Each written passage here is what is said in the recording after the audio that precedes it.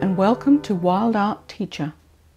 I'm looking forward to sharing my passion for art and wildlife with you and helping you on your creative journey towards becoming a wildlife artist.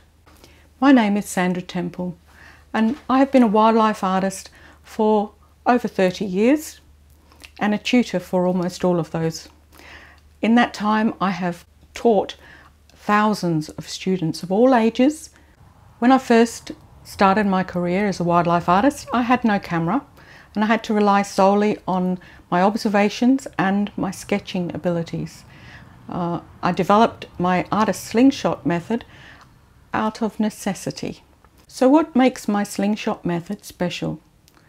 We break things down into simple shapes, we have directions, and we have texture and strokes.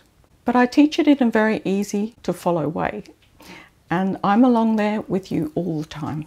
So you can stop, start, rewind, have another go. Quite simply and easily explained so that you can understand it very well. You'll be surprising yourself and feeling much more confident to show off your work.